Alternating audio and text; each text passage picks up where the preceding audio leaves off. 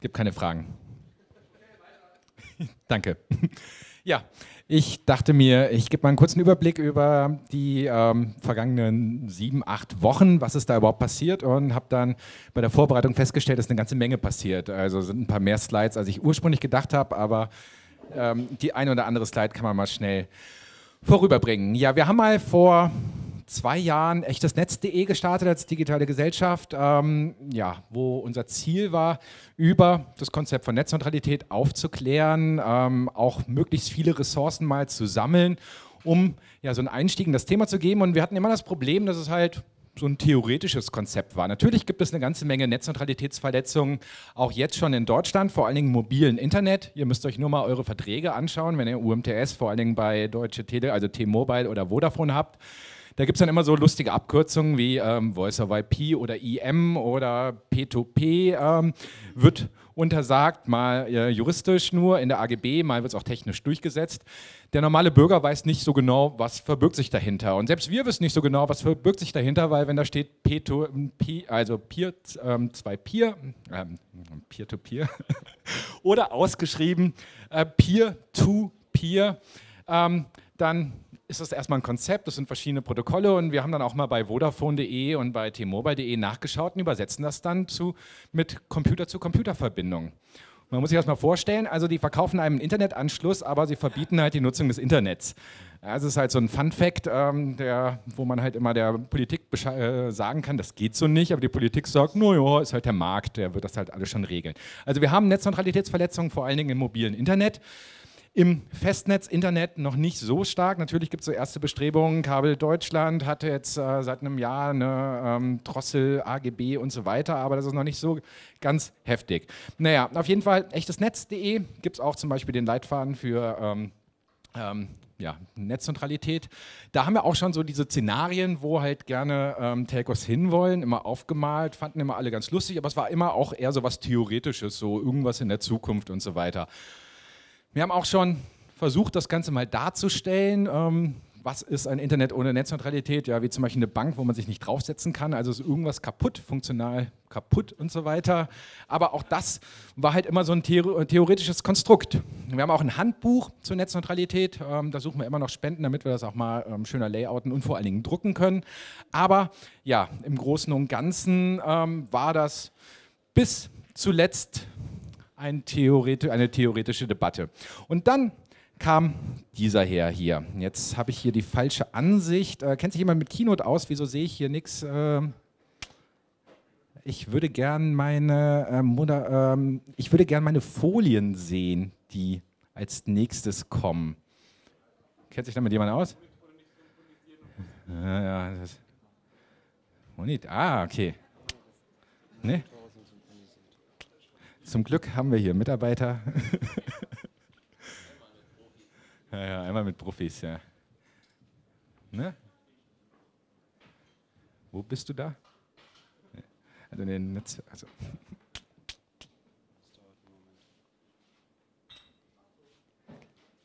Ah, okay. Das war das Problem. Ich wunderte mich schon. ja, ja, keine Panik. So, jetzt kann man das rüberschieben, oder? Oder so? Gut. Super, das ist live. Ausschalten, ausschalten. Also, jetzt weiß ich auch, wie der Herr heißt. Das ist Michael Hackspiel, der Marketingchef der Deutschen Telekom. Ähm, er verkündete etwas, was wir in Blogs und Podcasts schon vorher wussten, was uns aber keiner so wirklich glaubte, nämlich, dass die Deutsche Telekom ähm, ja, auf einmal vorhat, auf der einen Seite ähm, die sogenannten Flatrates abzuschaffen, durch Volumentarife zu ersetzen ähm, und andererseits aber wiederum sogenannte Managed Service ähm, einzuführen, über die dann bestimmte Dienste weiterhin durchgeleitet werden. Ähm, das muss man sich so vorstellen. Also es gibt dann auf einmal zwei Leitungen oder man teilt halt eine Leitung in zwei Leitungen und ähm, das eine ist dann halt das offene Internet und das andere ist dann das Kabelfernsehen, so die sogenannten Managed Services ähm, wo ganz andere Regeln gelten. Das war natürlich erstmal in der öffentlichen Debatte so großer Aufschrei, weil Flatrates werden abgeschafft und ab zukünftig dürfen wir nur noch 75 Gigabyte im Monat verbrauchen und so weiter. Und erst allmählich wurde so klar oder allmählich gab die Deutsche Telekom mehr zu, als ähm, sie vorher gesagt hatte und bestätigte immer mehr unsere Befürchtungen, wie zum Beispiel, dass es Herr Nick Jan van Damme, der Deutschlandchef der Deutschen Telekom, der erklärte dann eine Woche später in der Welt, also der Zeitung, die Welt, ähm, diese Managed Services, dieses T-Entertain, da kann man dann auch irgendwie ja, so ein bisschen ähm, die Überholspur kaufen. Man kann also sozusagen dieses Zwei-Klassen-Internet irgendwie auch die Premium-Klasse dazu kaufen, um dann als Sender irgendwie privilegiert durchgeleitet zu werden und von der Drosselung aus genommen zu werden. Und er verwies explizit auf Spotify. Das gibt es jetzt schon im mobilen Internet, das halt ähm, quasi bei T-Mobile, wenn man für 10 ähm, Euro im Monat so einen Zusatztarif bucht, dann spielt die Bandbreite für den Musikstreaming-Dienst Spotify keine Rolle mehr. Also da ähm, wird nicht aufs Volumen äh, angerechnet und genau das ist so die Idee, die man jetzt auch fürs Festnetz Internet hat. Das sorgte natürlich für ein bisschen mehr Aufregung, weil auf einmal war von der Drosseldebatte endlich da, wo wir hin wollten, nämlich die Debatte um Netzneutralität. Darf der das? Und dann schrieb unser ähm, Wirtschaftsminister einen offenen Brief und René Obermann, der internationale ähm, Chef der Deutschen Telekom, der demnächst irgendwie die Telekom verlässt, erklärte dann auch erstmal, naja, das wäre alles okay, weil das offene Internet, da macht man das ja alles gar nicht. Das wird halt irgendwann gedrosselt und alles andere läuft halt über das Kabelfernsehen, Internet sozusagen, ne, der andere Teil der Leitung. Und deswegen wäre das ja alles vollkommen okay, weil das wäre ja von den deutschen Landesmedienanstalten eine durchregulierte, separate Fernseh- und Medienplattform. Und da dürfe man machen, was man wolle. Man würde es halt nur nicht Internet nennen. Ja, und da hatten wir auf einmal eine Debatte, die sich an diesem Vogel hier kristallisiert. Das ist eine Drossel, habt ihr wahrscheinlich vorher auch nie so bewusst wahrgenommen. Ähm, wahrscheinlich der beliebteste Vogel des Jahres, zumindest in der öffentlichen Debatte. Und es ging halt los so. Ne? Das war unser, einer unserer ersten irgendwie Motive, wo wir dann noch dachten, naja, man kann auch mit, mit ein bisschen Adbusting, ein bisschen Spaß in die Debatte reinbringen. Ähm, natürlich machten sich alle super lustig über ja, 384 Kilobyte. Ähm, äh, surfen, das kennen wir noch von früher, also aus den 90ern, so ein bisschen retro. Ähm, die Telekom agierte auch so ein bisschen unglücklich, weil die brachte dann auf einmal solche Sachen raus so, und erklärte so, hey, 75 Gigabyte, das ist voll viel so, ne? Ja, also sieht viel aus, hat man eine vierköpfige Familie, sieht es halt nur so viel aus, ne? Also so 75 Gigabyte, das sind halt sechs bis acht HD-Filme im Monat. Man muss sich halt vorstellen, also als Single kann man jeden dritten Tag einen HD-Film gucken. Hat man dann schon zwei Kinder im jugendlichen Alter, die auch einen HD-Film gucken wollen, und zwar nicht mit den Eltern zusammen, sondern einzeln, na, dann äh, gibt es halt Stress zu Hause. Ähm, und danach ist halt das Internet irgendwie wieder auf 90er-Geschwindigkeit. Das macht, äh, machte uns natürlich viel Spaß. Man konnte halt lustige Videos machen. Da kommt jetzt Musik. Da kam Musik. Hallo Sven.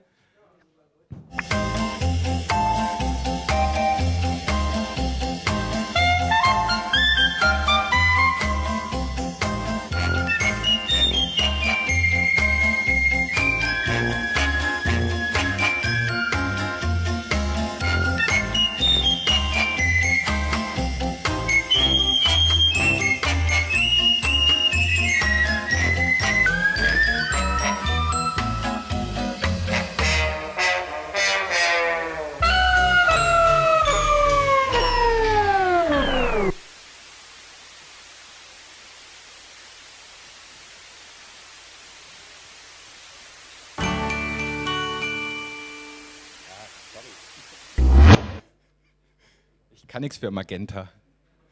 Naja, auf jeden Fall, ähm, wir hatten viel Spaß, also dazu muss man sagen, ähm, wir hatten kein Geld, aber wir hatten Zeit und wir hatten ein paar Tools und vor allen Dingen hatten wir sehr viele Vorlagen. Also so 15 Jahre Deutsche Telekom-Werbung im Internet, das bietet so einiges. Und auf einmal gab es halt überall irgendwie aufpoppende ähm, Initiativen ähm, gegen diese Pläne. Ähm, Malte Götz, ein 18-jähriger Abiturient aus ähm, Düsseldorf, nutzte dann die äh, Petitionsplattform change.org und sammelte bis heute rund 200.000 Unterschriften. Die konnte er dann auch der Deutschen Telekom übergeben. Ähm, ja, die waren halt nicht wirklich beeindruckt. Es gab dann noch ähm, einer unserer Leser, Jan äh, Karres, äh, baute noch drossellayer.de. Das kann man sich über seine ähm, Webseite packen, um halt Menschen auf, äh, aufzuklären, ähm, was das Ganze äh, was ja, das bedeutet. Jetzt baute drossel.de. Da kann man halt ähm, eine URL eingeben und ähm, kann sich dann anzeigen lassen, wie das so ist, mit 384 Kilobyte eine Seite aufzurufen. Das sieht dann im Video so aus. Das müssen wir jetzt nicht ganz angucken, weil das dauert echt lange, bis die Deutsche Telekom-Seite geladen wird. Ich glaube, eine Minute 30. ja, und die Proteste wurden größer ähm, und so die Entspanntheit bei der Deutschen Telekom wurde, ging auch ein bisschen zurück. Das ist Herr Husam Asrek. Ähm, wir kennen mittlerweile bald die ganze Telekom-Öffentlichkeitsarbeit, weil jeden Tag meldet sich jemand anderes von denen zu Wort. Und er war halt vor, es ist Klientelpolitik, wenn man sich für Netzneutralität einsetzt und ja, ja, die Jungen und die Netzaktivisten, sonst interessiert das natürlich keinen so. Ne? Ähm, wir hatten da noch so ein Tool rumfliegen, was wir mal gegen Vodafone genutzt hatten, um halt äh, versuchten halt da vor einem halben Jahr anhand von Vodafone im Mobilbereich äh, mit einer Remix-Plattform ähm, Aufmerksamkeit auf das Thema zu lenken. Ähm, das konnten wir auch umwandeln. Hier hatten wir eher das Problem, dass wir zu viele gute Motive in der Telekom-Werbung fanden, die man remixen kann. Also ihr habt mittlerweile 30 verschiedene Motive da zur Auswahl. Ihr könnt die selbst bestücken mit eigenen Sprüchen unter Hilf Telekom, also hilf-telekom.de, angelehnt an Telekom hilft dachten wir halt, man kann die Deutsche Telekom jetzt bei ihrer Öffentlichkeitsarbeit unterstützen. Das ist so eins. Äh, jetzt am Wochenende von Mario Sixtus nochmal verfasst in einem äh, der Pate-Kommentar im Tagesspiegel über ja, das Schutzgeld, was die Deutsche Telekom jetzt haben möchte. Sehr beliebt war auch dieses Motiv. Und morgen erzählen wir denen, Internet gibt es nur noch jeden zweiten Tag, weil weltweit die Bits ausgehen. Was sich ein bisschen darüber lustig machte, dass die Deutsche Telekom uns hier irgendwas erzählen möchte und ähm, viele nicht so wirklich überzeugt sind, dass das, was die Marketingabteilung davon sich gibt, irgendwie auch stimmt. Ähm, beliebt auch das hier. Schatz, diesen Monat darfst du Patches installieren. Ich verzichte für dich, wenn halt irgendwie Mitte des Monats die 75 Gigabyte aufgebraucht sind und das Windows sich mal wieder updaten möchte. Ähm, es gab dann andere Versuche, das Ganze zu, ähm, ähm ja, ähm, in Werbeform zu gießen. Das hat Matthias Ritschel von D64 ähm, gebaut ja, ähm, der Drosselaspekt kommt in den Vordergrund, was passiert, wenn man halt gedrosselt wird. Und wir haben auch noch verschiedene Sachen, die wir jetzt als Postkarten und als Aufkleber rausbringen mit unseren Kernforderungen. Ja. Diese Schilder hatten wir auch gemacht, weil ähm, es bot sich halt an, dass die Deutsche Telekom vor zwei Wochen in Köln eine Hauptversammlung veranstaltete. Da holen sie einmal im Jahr ihre Aktionäre zusammen. Das ist ähm, viel unspektakulärer, als man denkt. Ähm, da sind dann halt in der Köln Arena ein Haufen irgendwie älterer Kleinaktionäre, ähm, die um ihr Erbe oder ihre Rente bangen, weil sie mal vor zehn Jahren durch Manfred Krug irgendwie ähm, überzeugt äh, Telekom-Aktien gekauft haben, die jetzt nur noch ein Viertel wert sind. Und ähm, das war ganz lustig für mich, weil äh, eine Woche vorher hat man die Republika und auf der Republika gab es keinen einzigen Sanitätereinsatz. Und ich laufe da irgendwie über die Telekom Hauptversammlung und überall sind Sanitäter, irgendwelche älteren Menschen am Versorgen, die halt irgendwie, naja, Blutdruckprobleme hatten. Und das Thema Drosselcom war da auch irgendwie das Top-Thema, also so von den meisten Redebeiträgen, äh, die halt alle das sich gar nicht so vorstellen konnten, wie kann man so eine blöde Idee umsetzen. Und wir dachten halt, okay, wir stellen uns halt davor und demonstrieren dagegen. Aber gleichzeitig dachten wir auch, online kann auch jeder mitdemonstrieren. Das war eine kleine Plattform demo.hilf-telekom.de, die jetzt uns gebaut hatte, ähm, wo man dann auf der Seite der Deutschen Telekom sozusagen seine eigenen Protestnachrichten ähm, unterbringen konnte. Das ist so ein JavaScript-Overlay, wo halt jetzt 3000 Leute halt ihre Nachrichten hinterlassen haben und wir standen halt vor der Tür. Und standen da halt so mit zehn Leuten ähm, um 8.30 Uhr morgens und dann guckte die Telekom Öffentlichkeitsarbeit die ganze Zeit so um die Ecke so und sahen die ganze Zeit, dass da immer mehr Fernsehteams kamen und um 8 Uhr, äh, nee, um 9 Uhr kam dann auf einmal der Deutschlandchef um die Ecke mit seinem ganzen Pressetross und gab dann bei uns eine Pressekonferenz gegenüber den ganzen TV-Stationen, die wegen uns da waren, vor unserem Schild. Fanden wir sehr gut. Es ist leider eine schlechte Kamera gewesen. Ähm, aber gleichzeitig war, ihr müsst euch das so vorstellen, er guckt in eine Richtung, guckt aber in die Kameras, seine ganzen Mitarbeiter stehen äh, auf der anderen Seite und gucken ihn wiederum an und er guckt aber eigentlich auf ein Parkhaus, wo wir in derselben Zeit mit dem Chaos Computer Club zusammen ein 15 mal äh, 4,50 Meter Banner runter äh, hießen. Das war auch so eine leicht komplexe Aufgabe, da war ich echt am Schwitzen, weil die Hälfte des Banners, die eine Seite, hatte sich ähm, festgehängt, äh, also ging nicht runter und ich sah da schon Fukami runterstürzen. der versuchte das irgendwie runterzumachen, aber genau in dem Moment, wo der Herr Van Damme mit seinem Statement fertig war, ähm, war das Schild halt unten. Wir konnten den Fernsehteams dann sagen, und jetzt drehen Sie sich mal bitte nach links. Und ähm, das hat auch geklappt. So.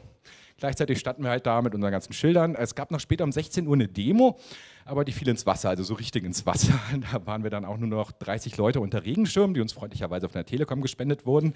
Ähm, aber wir durften nicht mehr durch die Stadt laufen, weil die Polizei meinte, für 30 Leute sperren sie jetzt nicht die, die Kölner Innenstadt. Aber was wir geschafft hatten, war, wir waren eigentlich überall in sämtlichen Fernsehberichterstattungen ähm, rund um das Thema, also ZDF heute, Tagesschau und so weiter. Hier ist mal ein kurzer Ausschnitt.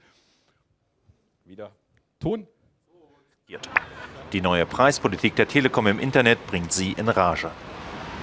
Das führt zu einer Benachteiligung unserer Blogs, unserer Podcasts, unserer Startups. Das ist eine Diskriminierung und wettbewerbsfeindlich. Und deswegen fordern wir vor allen Dingen von der Politik, dem einen Riegel vorzuschieben. Die Telekom jedenfalls will die Klauseln nicht zurücknehmen. Der Deutschlandchef suchte heute zumindest das Gespräch mit den Demonstranten draußen und gestand Kommunikationsfehler ein. Und was in drei Jahren eine echte Flatrate ist und welches Datenvolumen sie beinhaltet, das weiß die Telekom heute selbst noch nicht. Demo gegen Drosselcom. Der Protest gegen die Drosselpläne der Telekom geht weiter. Tausende hatten eine Online-Petition unterschrieben. Jetzt laden die Kritiker zur Demo.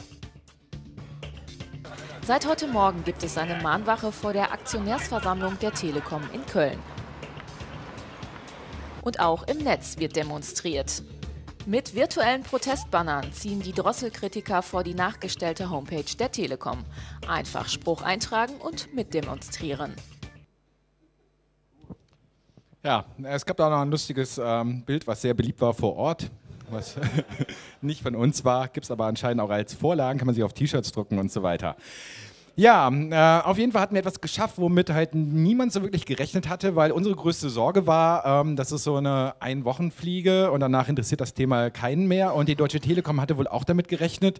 Hier ist Herr Philipp Blank, einer der zahlreichen Telekom-Sprecher, der halt im, Deutschen, äh, im Deutschlandfunk dann ähm, so ein, meiner Meinung nach ein bisschen arrogant erklärte, naja, so ein paar Tage Medienaufregung ähm, hat man so eingeplant. Das ähm, Gute ist, wir sind jetzt in der siebten oder achten Woche.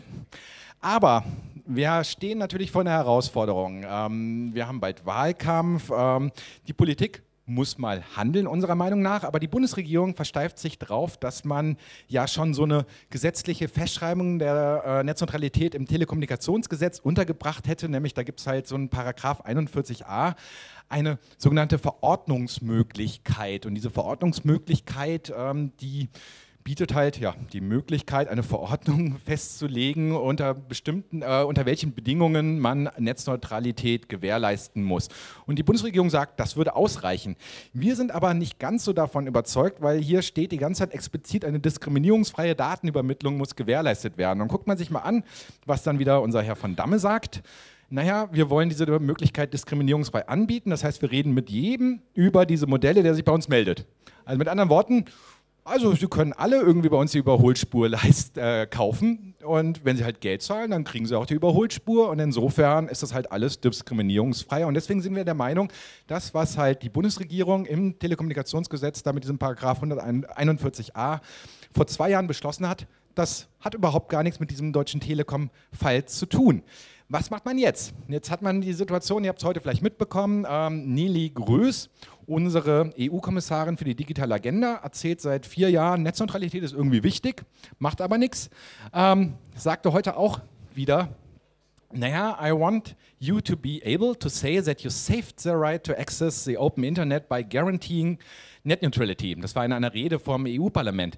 Aber auch hier sieht man mal wieder, Sie redet explizit vom Open Internet, wo Netzneutralität gewährleistet soll. Nichts anderes sagt die Deutsche Telekom. Die Deutsche Telekom sagt, naja, also der eine Teil des Kabels, das ist das offene Internet. Da gibt es dann irgendwie Netzneutralität. Naja, ein Mobil ist halt was anderes. Ähm, das ist ja gar kein richtiges Internet. Aber in dem einen Teil machen wir das, aber das andere nennen wir halt Kabelfernsehen. Und auch hier verwendet sie dieselbe Sprache und auch, was sie heute wieder von sich gegeben hat, klingt so, als ob sie okay fände, dass die Deutsche Telekom ein Zwei-Klassen-Internet einführt.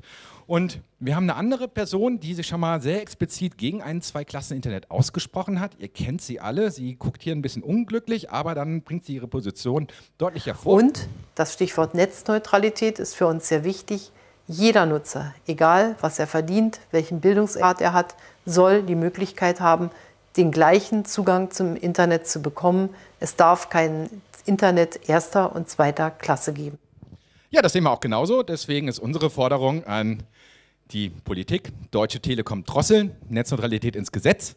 Und das sollte man mal bald machen, um auch der Deutschen Telekom die Möglichkeit zu geben, sich mal an diesem Marktrahmen zu orientieren, wie Ben das eben schon argumentiert hat. Also wir müssen als Gesellschaft, wir müssen als Politik einfach mal diese Leitplanken definieren und dann kann sich auch die Telekom daran orientieren, was sie machen kann und darf und was sie nicht darf. Und eine Möglichkeit, das zu artikulieren, ist, neben äh, lustige Remixe machen und anderen Sachen, diese Petition zu unterzeichnen, ähm, die Johannes Scheller eingereicht hat. Und wir sind ganz froh, dass Johannes hier ist. Ähm, ja, irgendwo gibt es ein Mikro für dich. Genau. Und eigentlich war geplant, ähm, weil Johannes in Freiburg sitzt, dass wir ihn zuschalten. Tübingen, da, äh, Tübingen ja, irgendwas im Süden. Ähm, ja, und alle bei uns schwitzten schon so, was kann da schiefgehen? Alles, ne? aber er hat es tatsächlich hierhin geschafft und deswegen freuen wir uns, dass du da bist. Einen Applaus erstmal.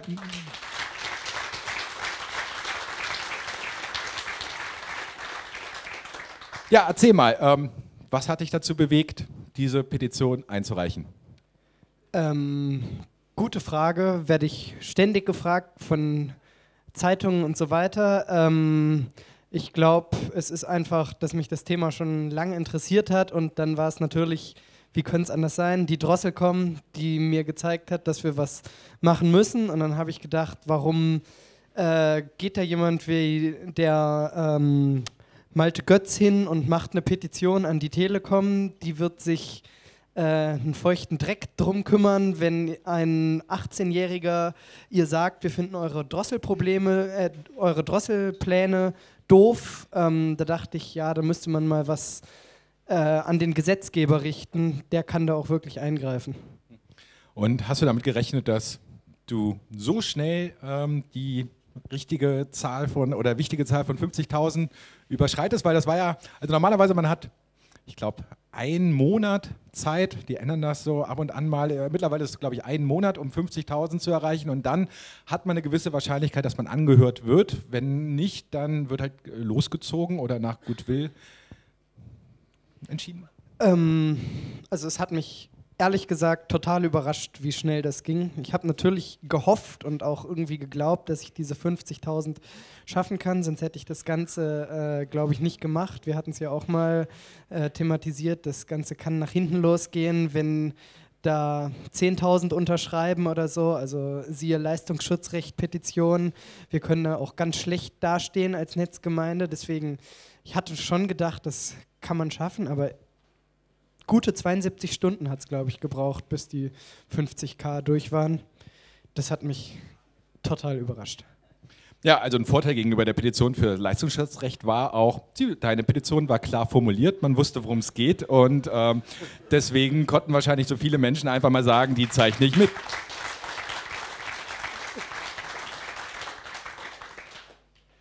Äh, danke, ich wusste bisher auch nicht, dass ich so gut in Petitionen formulieren bin.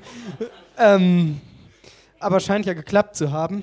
Ja, äh, habe ich jetzt auch aber schon ein paar Mal gehört, dass die wohl ganz treffend und einfach äh, formuliert sei. Freut mich, wenn das so ist, denn damit können wir das Ziel erreichen, auch mal ein paar Leute äh, zu überzeugen und auch vielleicht zu interessieren, die sonst nicht den ganzen Tag vor Twitter rumhängen und netzpolitik.org lesen. Kannst du denn äh, sagen, wie es jetzt weitergeht? Also du, die Petition hat das Quorum erreicht, bald ist irgendwie Bundestagswahl. Ähm, theoretisch gibt es die Chance noch, dass du angehört werden kannst. Ja, theoretisch zumindest. Ähm, es gibt noch einen einzigen Termin, der vor der Sommerpause äh, des Bundestags ist, aber nach Ende der Zeichnungsfrist. Es sind ja ab heute noch zwei Wochen, glaube ich. Ja, ähm, die man das zeichnen kann. Dürft ihr übrigens alle noch machen, falls ihr noch nicht habt oder, und auch weiter Werbung machen. Ähm, heute, gerade eben irgendwann, müssen sich diese Obleute des Petitionsausschusses getroffen haben und die haben wohl entschieden, ob ich äh, an diesem einen Termin, den es noch gibt, Montag der 26. oder so, ähm, ob ich da in den Petitionsausschuss kommen kann. Ich habe leider noch kein Ergebnis, was, wie die sich da jetzt entschieden haben, aber es gibt da diesen einen möglichen Termin und ich denke, ich erfahre spätestens morgen, da habe ich ein Treffen mit der SPD-Fraktion, ob das was wird noch vor der Sommerpause. Wäre natürlich schön, dann könnten wir das Thema in den Wahlkampf reinretten. Danach wird es verdammt schwer. Das hättest du jetzt nicht sagen dürfen, weil CDU und FDP haben da ja kein Interesse dran, dass es in den Wahlkampf reinkommt. Ja, natürlich, aber wir haben Interesse daran, dass es in Wahlkampf reinkommt und ähm, mal sehen, wenn das tatsächlich an diesem einen Termin ist, dann sehe ich da eigentlich auch ganz gute Chancen, dass wir politisch irgendwas erreichen können, zumindest wenn dann äh, nach der Bundestagswahl nicht wieder Schwarz-Gelb da ist und sagt, äh, wieso ist doch alles in Ordnung, wir haben Paragraph 41a Telekommunikationsgesetz. Da haben wir es doch, wie es der Rösler auch am Sonntag gesagt hat. Ja, auf jeden Fall wünschen wir dir viel Erfolg und hoffen, dass du am 26.04., äh, nee, am 26. nicht 26.04., 26. 6. Nee, 7. Ja. 6. aber ich überlege gerade, ähm, es müsste 6. der 24. sein, Oder, weil das dann okay. Dienstag ist. Ja. Stimmt, der Montag ist der 24. Ja, dass du da noch reden kannst und deine Möglichkeit oder deine demokratische äh, Möglichkeit auch ausnutzen kannst, deine erfolgreiche Petition dem Petitionsausschuss im Deutschen Bundestag irgendwie mündlich zu überliefern. Wir hoffen natürlich noch, dass es möglich ist, wenigstens sechsstellig zu werden, also 28.000 Stimmen fehlen noch. Wenn ihr noch nicht mitgezeichnet habt, dann macht es. Das kostet nichts, außer ein bisschen Zeit. Ähm, notfalls könnt ihr auch noch für eure Eltern mitzeichnen. Das kostet nur eine Mailadresse und ein bisschen Zeit.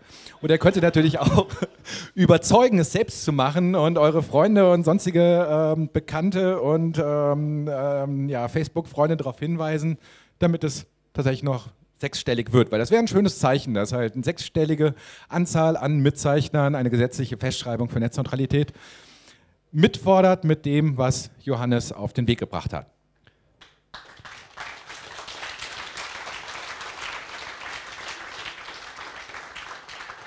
Schöner als für eure Eltern mitzuzeichnen ist übrigens, wenn ihr euren Eltern erklärt, was das ist, geht auch an Sascha Lobo, der das seiner Mutter erklären soll, bitte. Ja, das klären wir noch, ob er es geschafft hat.